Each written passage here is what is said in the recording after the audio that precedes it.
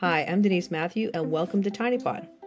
With over 10 years of human design experience, I'm here to share my take on the human design energy in play. So today I'll be your guide to exploring the wonderful world of human design energy. Sit back, relax, and I hope you learn something new.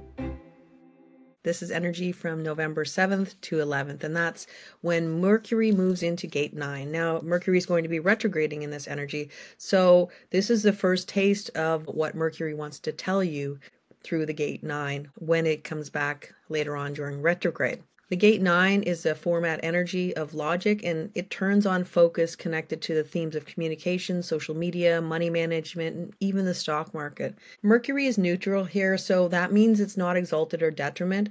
So it means that we can have all expressions of the energy play out personally and globally. 8 9 can be intense sometimes to the point of almost being obsessed with collecting details. The only problem is is that there could be a lot of collecting of details but nothing sort of to sit with. Now that comes from the stillness of the gate 52 where we sit with all the pieces to the puzzle or all the things we've collected, almost like a collage where you have all the things you want to put on your vision board if people even do that anymore and you want to look at all the things you've collected. Or even if you're collecting something to write some sort of a, a piece a project or something like that you're coming together with the gate 52 and bringing it together and making it into something more than just lots of pieces because mercury is so speedy and kind of moving from one thought to another it can be a little bit scattering when Mercury's in this energy, but the whole point is to find something to focus on so that you can bring something together to eventually make something that makes sense and brings all the details together. This can be for plans for your future.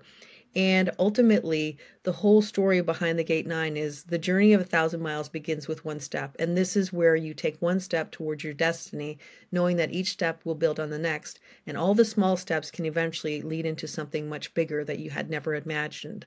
This is a time where you can almost look at the world around you as well because there's so much communication, social media. This might be a time when you can focus on a lot of things and, and collect a lot of information that eventually you can sort of look at what it all means together and make plans for the future and even potentially predict a new pattern that you might want to move into when Mercury eventually moves into the gate 5 and we lock into a pattern of change. With that said, I hope you have a wonderful day and I will be back again soon. Until next time, take care and bye for now.